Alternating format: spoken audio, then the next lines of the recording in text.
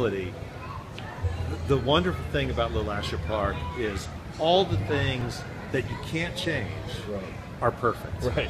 Right? Right. The setting, the backdrop, the Right. river, the bridge, Right. the community, the fan base, the passion of the people here. Mm-hmm. Um, all those things you, you can't change and you wouldn't want to. They're perfect Right. right? And then the things that need to get changed in LeLacheur Park, we can change them, and we will over time, Right. Right? We want. I, I look at this ballpark as a, as a, as an unfinished piece of art, Right.